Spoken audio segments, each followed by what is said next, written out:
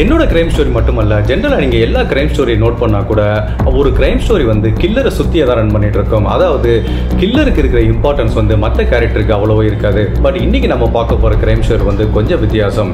நீங்கள் ஒரு crime story lover அப்படின்னா டெட் பண்டே அப்படிங்கிற ஒரு சீரியல் கில்லரை பற்றி உங்களுக்கு தெரியாமல் இருந்திருக்க வாய்ப்பே கிடையாது. கிட்டத்தட்ட நாற்பது பெண்களுக்கு மேலே ரேப் பண்ணி கொலை பண்ண டெட் பண்டிக்கு வந்து நைன்டீன் எயிட்டி நைனில் வந்து மரண தண்டனை கொடுத்தாங்க. அந்த டெட் பண்டியோட கேர்ள் ஃப்ரெண்ட் எலிசபெத் ஹெண்டல் அப்படிங்கிறவங்க வந்து கிட்டத்தட்ட ஆறு வருஷம் டெட் பண்டியோட இருந்திருக்காங்க. அவங்க ரெண்டு பேரும் வந்து ரிலேஷன்ஷிப்ல இருந்த அந்த டயத்தில் கூட டெட் பண்டி நிறையவே மர்டர் பண்ணியிருக்கான். இந்த ஆறு வருஷம் எலிசபெத்தோட ரிலேஷன்ஷிப் வந்து டெட் பண்டியோட எப்படி இருந்தது? அவள் ஒரு சீரியல் கில்லர் அப்படின்னு இந்த எலிசபெத் வந்து எப்போ கண்டுபிடிச்சாங்க? அதுக்கப்புறம் வந்து போலீஸுக்கு இந்த டெட் பண்டியை பற்றி என்ன மாதிரியான இன்ஃபர்மேஷன் கொடுத்தாங்க? ஃபைனலாக டெட் பண்டியை கேப்சர் பண்ணுறதுக்கு இந்த எலிசபெத் வந்து போலீஸுக்கு எப்படி ஹெல்ப் பண்ணாங்க? அப்படிங்கிற டெட் பண்டியோட எலிசபெத் ஹேண்டில் அப்படிங்கிற கேர்ள் ஃப்ரெண்டை பற்றி தான் நம்ம இந்த வீடியோவில் பார்க்க போகிறோம்